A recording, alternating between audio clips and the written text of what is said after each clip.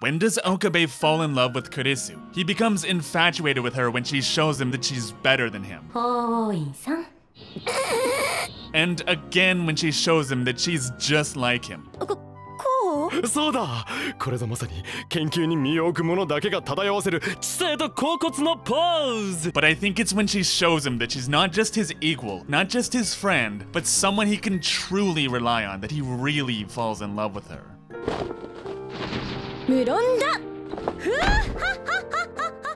What is the first thing he does when he time leaps? He tells the other lab members to leave because he doesn't want to put them in danger. One of his friends dies and he can't bear to see another get hurt. He tells them to leave and locks the door, sitting alone in the lab, the gentle drip of the tap being the only sound piercing the brooding silence he's trapped himself in.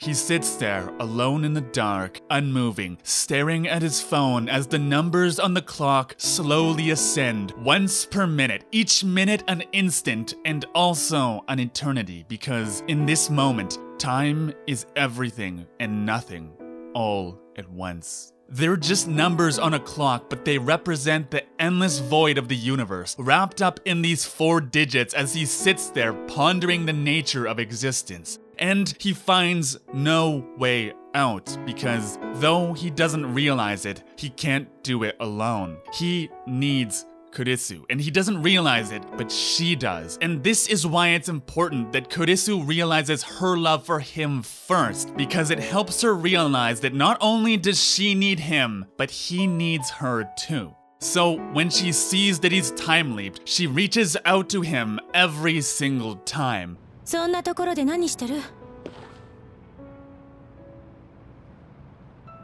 クリス Again and again and again, she finds him lost in the sea of infinity and reaches down to take his hand. And he keeps pulling away, afraid of hurting her too, because he's in love with her.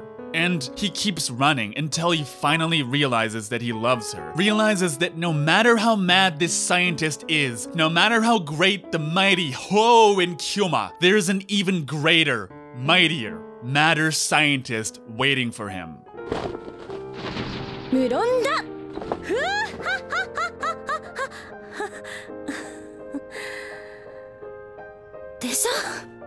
This is the moment he realizes that she truly understands him. She takes this goofy bit of his character and turns it into one of the most tear-jerking moments in the entire show. When he can't bring himself to be the mad scientist, Kurisu becomes it for him, knowing what it is and knowing what it stands for. And how does Okabe feel knowing that this girl sees him for the man he really is, all we need to do to peer inside Okabe's heart is to look at Kurisu's face. We're not just looking at her expression. What we're seeing is Okabe's point of view. We're not looking at her straight on. We're looking up at her as she looks down on him. To Okabe, here, in this moment, she's beautiful. What we see is Kurisu's affection, but what we feel is Okabe's as he gazes upon the most beautiful girl in the world.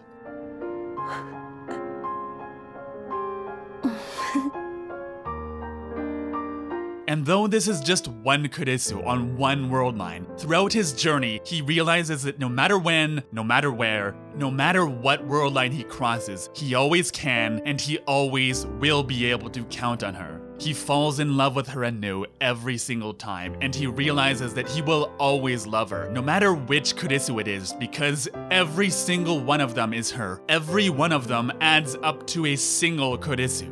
And leading him back to the lab after hearing him pour his heart out, she lets him just a little further into hers and tells him about her innermost desire.